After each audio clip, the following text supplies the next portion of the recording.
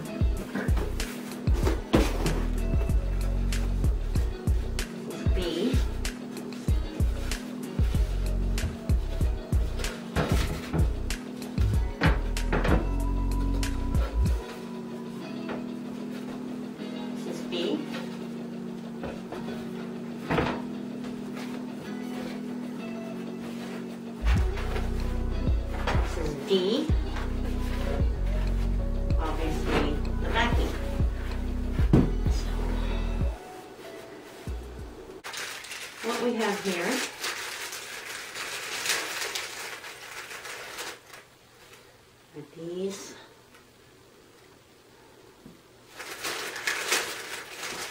which I'm assuming are the feet.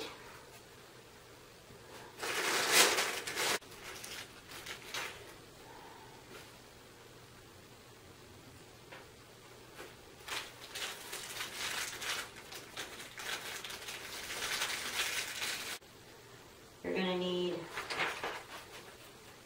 five of these round legs. uh, insert caps. To need the screws that are provided, the side panels, um, and shelf top, bottom, and the backing. So, I started to put it together, but unfortunately, due to technical difficulties, my camera was not on. So, we're going to try this again. Anyway, we have already separated out our pieces, which I showed you earlier, and the only thing I've done is taken out the hardware. Now, unfortunately, I, I already had put uh, most of this together before I realized the camera was off. So, I've taken this piece back off. Now, the first thing you want to do is take these little pieces that look like bottle caps and you're going to find the piece that's labeled C and it will be uh, black on top and it will have the five holes in it which I've already started. Now what you want to do is you want to put this inside and you want to place it in and then you want to hammer it in. Now I'm going to zoom in on this so you can see it better. What you have here is it's got the indent in here.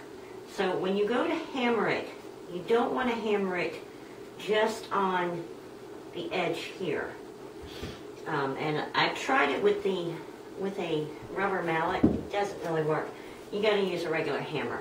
So when you go to hit it, you don't want to hit it just like around the edge. You want to hit it half on this ring part and half on this center part like so. So I'm going to show you here. Okay, place it in as, now I've already hit this end so it's not, when you go to do it, it's going to be cattywalloped. It's not going to be very straight. So you just kind of have to go around.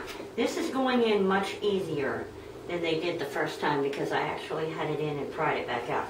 But mainly, you just want to go around What you can do is look from the side here to see how uh, flush it is with the rest of the board.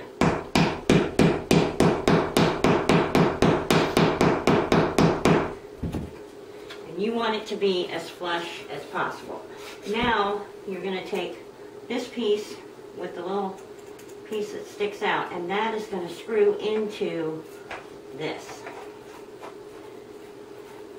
And now you have your four um, legs on the bottom. So now we're going to pan back out and do the rest.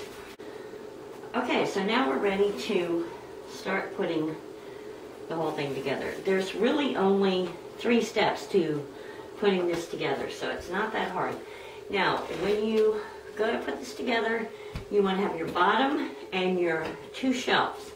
Your two shelves are the ones that are labeled B, and they're going to have uh, one finished side, and they're going to have a raw side, and they're labeled B. And then here on the edge, you're going to have one finished side and one raw side. So you want to make sure when you're putting this together that all the finished edges are facing the same way and all the raw edges are facing the same way. So, this is the other shelf labeled B. So I want all my raw edges to face upward. So what I'm going to do, actually I want my raw edges to face, yeah, upward. And that's how we're going to do it. Okay, so these little legs will kind of hold it up. So I'm going to put the bottom here. I'm going to put my second shelf here with my raw side facing up. And then, and always make sure that the finished side is this way. Finished side is here. And then the last one, raw side up, finished side at the top. We're ready to go. Now, we need our side panel. The side panel is marked A, and you'll notice that it has three sets of holes in it. Again, you want to make sure. Now, both sides are finished, but you have a raw edge. So that raw edge has to match the other raw edges. So when you go to put this in, it really doesn't matter which side.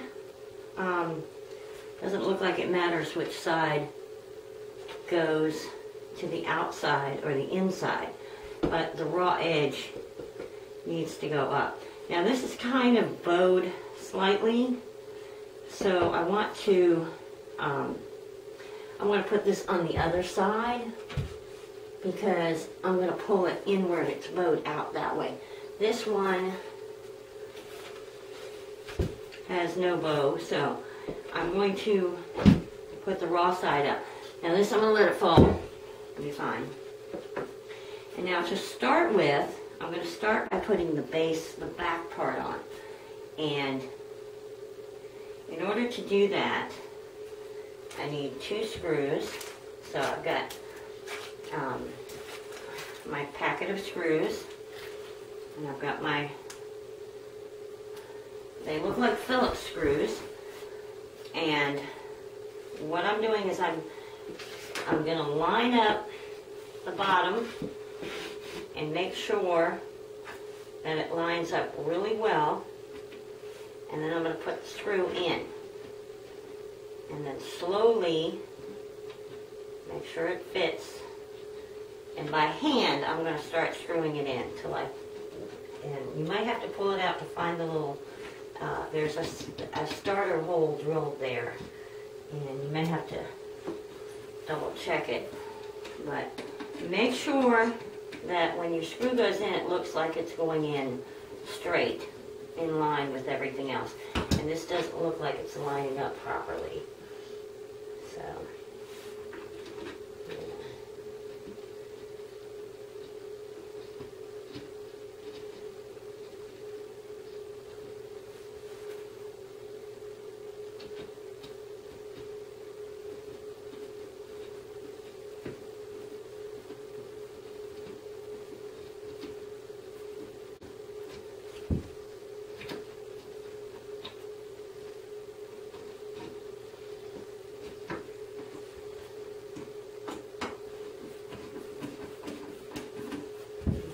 Now it's best to get both screws started.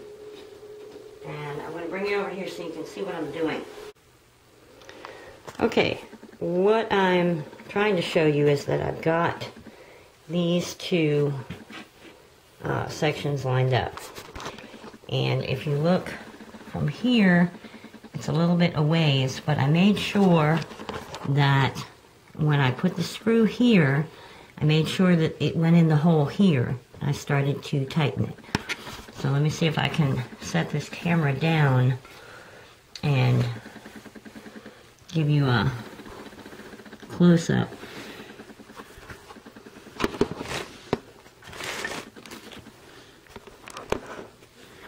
Okay. Now we can pull this closer. I'm holding it. Now you want to make sure that it's not coming out uh, here or on the inside. I'm not tightening it too much because I want to get the top screw tightened up.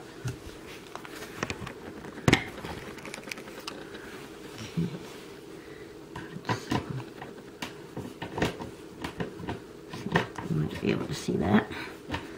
Okay. Now once I've got both in there, I'm going to put something like the box on the inside.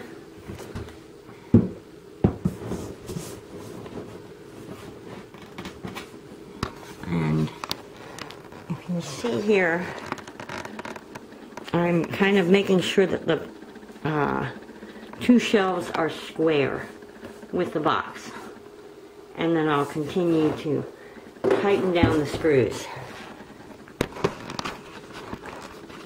Now, I'm not going to tighten them too tight. Just, that's good.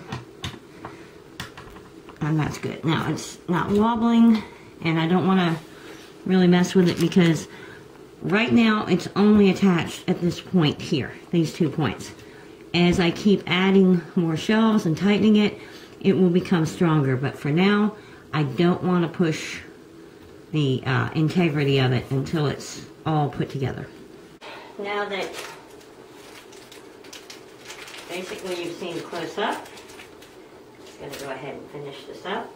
So I'm going to remember that I have the open, the non-finished side up. And then I'm going to start with the bottom. And I can kind of make sure that I get the the pre-drilled hole down here.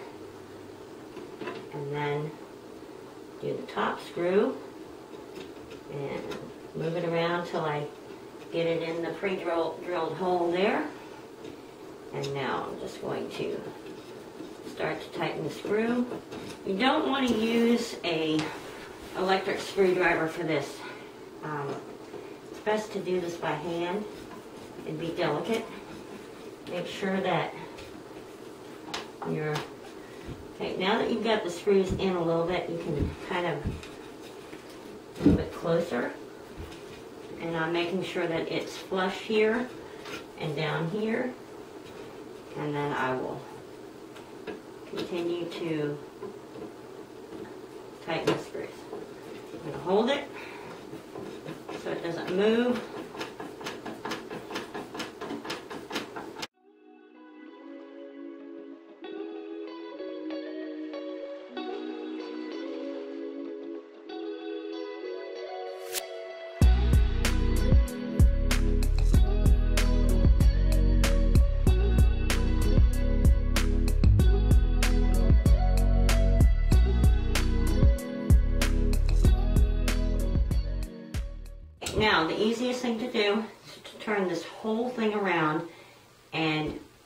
Continue from this side what I'm used to doing because this is the easiest way for me to uh, whatever.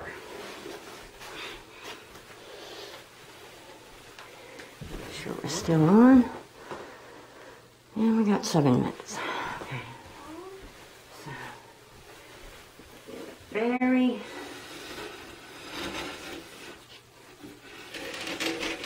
Now, if you're uh, a little concerned about turning it, then you can always just go to the other side. But I want to do this this way. Now that I've turned this around, I need to make sure that I have uh, everything lined up like it's supposed to. And these boards have finished edges all the way around except for this one spot. So it will fit either way.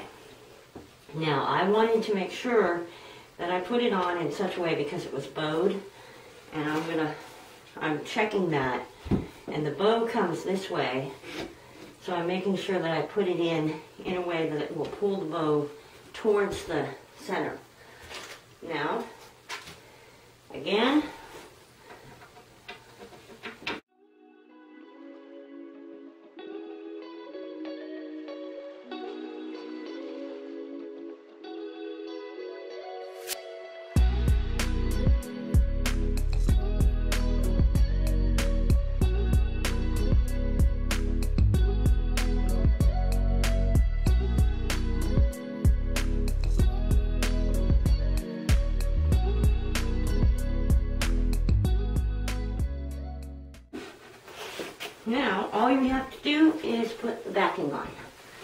which we have the proper side facing up.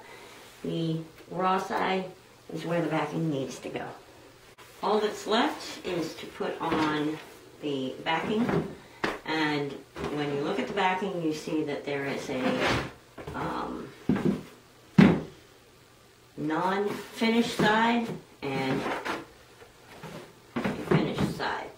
And you may be tempted to put the finished side outside, but that's going to go up against the wall. So don't forget, it may seem simple, but it's a mistake that I've made in the past.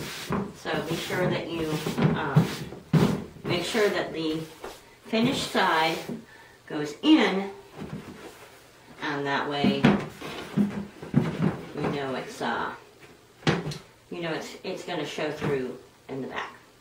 So obviously this is not the way to go. You want the uh, folds to run up and down. And double check it, to make sure it fits. And if your uh, piece is square, it will fit perfectly. So the best thing to do is go ahead and start at one corner. And you notice, remember you have these pieces here. Steer clear of that. Go ahead and start with one here and then here. Um, and just don't try to nail into this. So we're going to look. Um, I'm going to kind of fit it all the way around. It fits almost to the edge, pretty much. And you've got these tiny, tiny little uh, nails. There's no holes in this pre-drill. so you just have to kind of wing it. Now it's good to start it a little and then try to hit it with as few hits as you can. Um, now what I'm going to do is go ahead and check the top make sure it's nice and tight.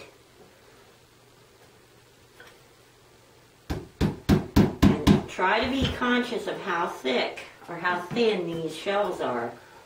So you're getting, try to get the nail in the center of these pieces and, you know, try not to have them come out the outside. So now I'm going to check down here. I'm going to put one here.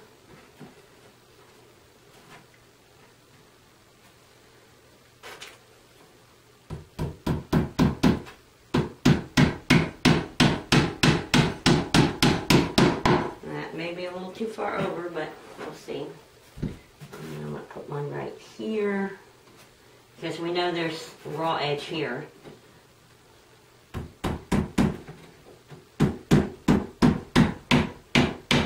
Oh, no, that's going, we know that's going to come out. So might as well just take the whole thing out. Start over here. Don't try to go back in the same hole because it will continue to go in that wrong direction. Okay, now this I knew was gonna go this way and not out. So, now you want to kind of check both top and bottom and push down,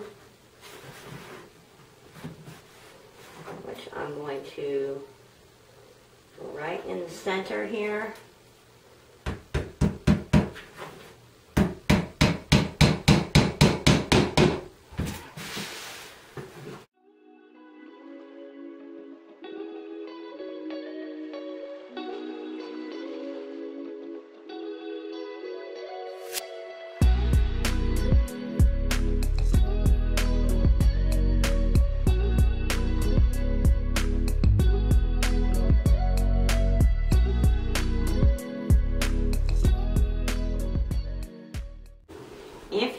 To run some across where the middle shelf is, it's best to measure it out. So that's what I'm going to do.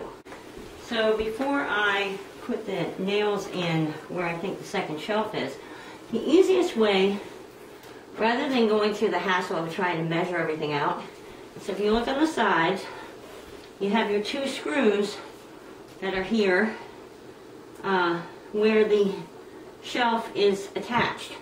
So what I've done is I've taken this piece of styrofoam and I've lined it up with those screws and the ones on the other side.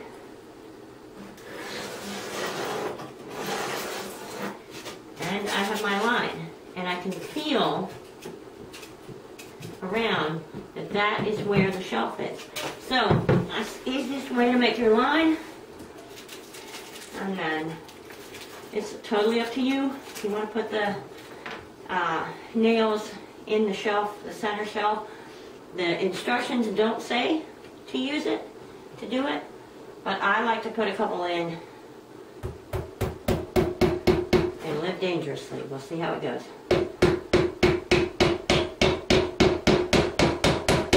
That's one.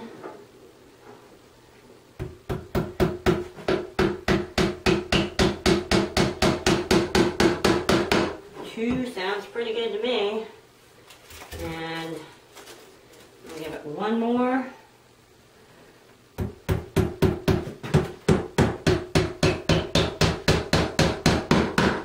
Voila, I think we are done. So